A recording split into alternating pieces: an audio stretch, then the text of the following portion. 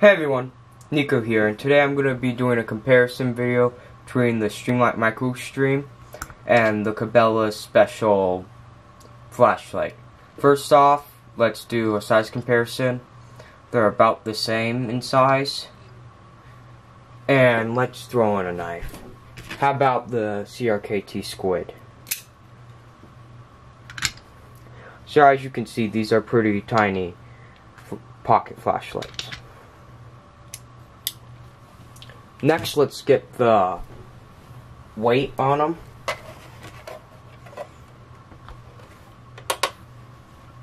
Let's see, so the Cabela's one is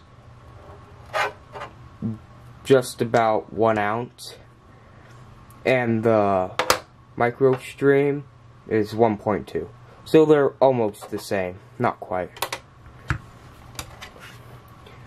so let's go off some of the obvious differences first off this has a pocket clip this one doesn't this one came with a little um, keychain attachment thing but I took that off just hooks on right there though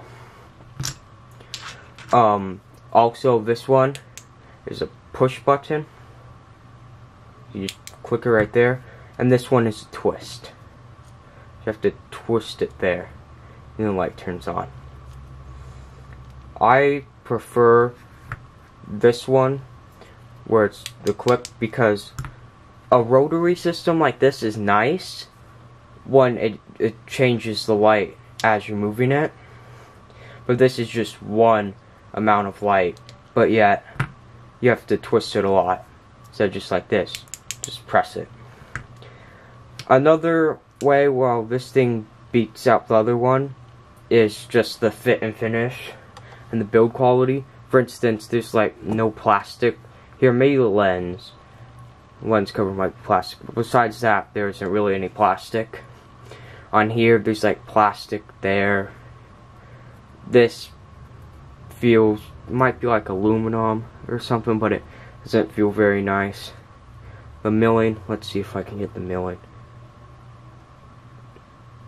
Just isn't like super clean compared to this, where the milling is all nice. Then also the threading. Feels a much nicer on this one. And also, you should be able to see that the actual threads itself, that one compared to this one, these ones are a lot finer. There's a lot more of them too. Also, battery-wise, they're taking the same thing, literally. Just AAA Whoops, I'm throwing things. Just AAA Energizer batteries. So let's put those guys back in there.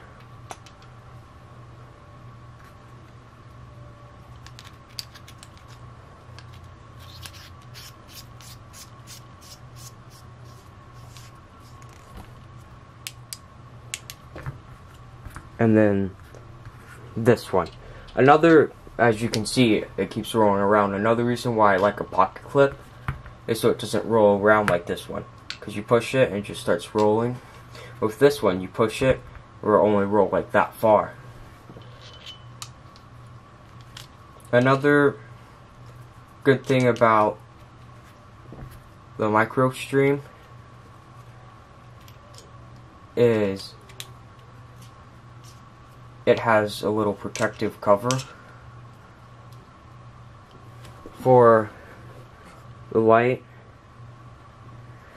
As to the Cabela Special, I can just put my finger in there, whereas that one I can't.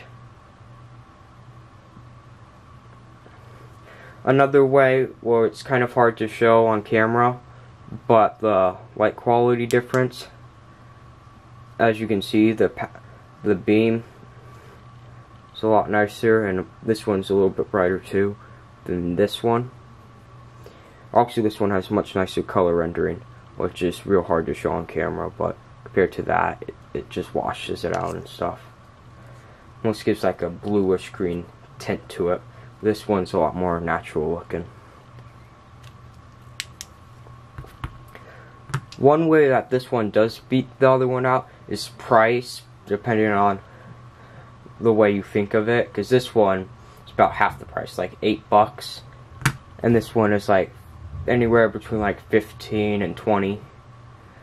Right around there.